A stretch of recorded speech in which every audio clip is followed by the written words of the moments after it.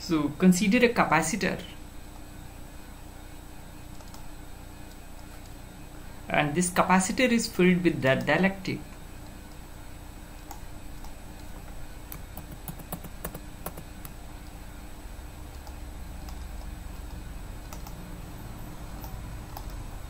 And whose dielectric constant is K? And let V be the potential difference between the plates of the capacitor. Then let dq charge is stored in the plates of the capacitor. Then the work done in storing this dq charge it can be written as v dq but the potential is represented by q by c. If c is the capacity of the capacitor then it can be written as q by c dq now let us find out the total work done.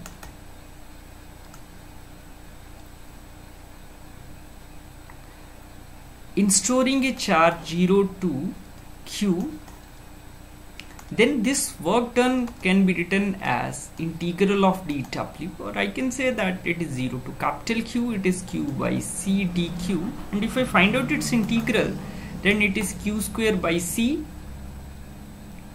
1 by 2 will be there. And if I take its limits from 0 to capital Q then I can say that q square by 2c so now this work done is stored this work done